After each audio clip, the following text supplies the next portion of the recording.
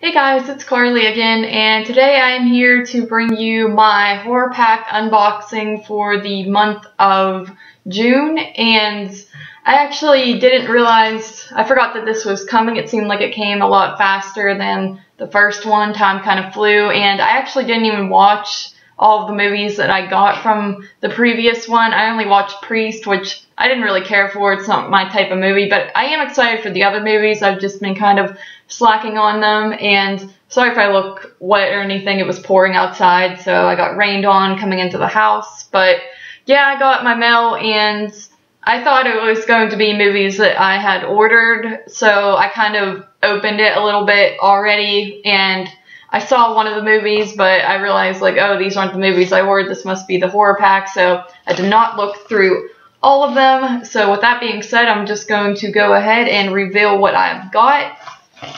First up, we have Deathgasm. This is the one that I noticed was in there, and I'm actually kind of excited about this one because I've heard good things about it. I think this came out either last year or the year before, and I know a lot of people, yeah, it came out in 2015. I know a lot of people seem to enjoy this one and have it on like top 10s or top 20s, things like that. So that's pretty cool. Gotta check that one out soon.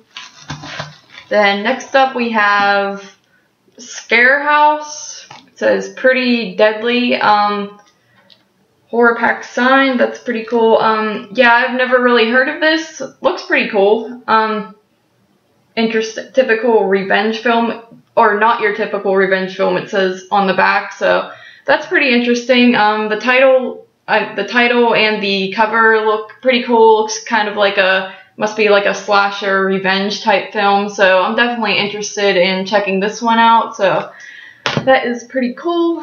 And then moving right along we have Killer Pinata. This looks really ridiculous. Um, that cover, just, can you see that? Yeah, that cover looks pretty crazy. Um, have never heard of this either, but it looks like a fun time, so I am definitely going to check this one out sooner than later. And then lastly, we have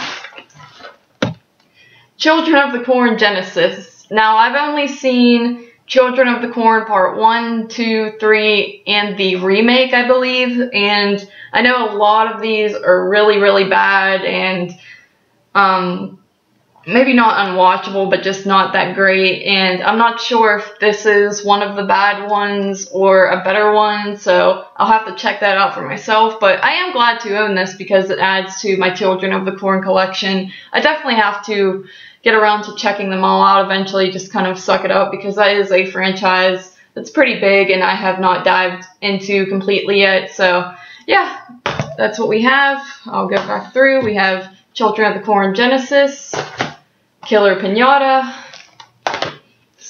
oops, Scarehouse, and Deathgasm. And I don't own any of these movies, and all of them seem pretty interesting to me, so that's pretty exciting. Um, you guys should definitely, once again, like I said in my last horror pack video, um, consider giving them a shot because if you're new to collecting, especially with Blu-rays, since Blu-rays are kind of expensive and it's much easier to go out and buy a DVD and find the DVD you want for pretty cheap. Um, I think this this is like $25 a month, which to some people that might be a little expensive, but to me it's kind of cool because you're getting a surprise pack of movies that you may or may not own, and if you own them, you can give them away to people or resell them or something like that. And if you don't own them, it's kind of cool to just build your Blu-ray collection, which these are movies that I probably wouldn't have even thought about buying because some of them I haven't even heard of. So that's pretty cool. Um,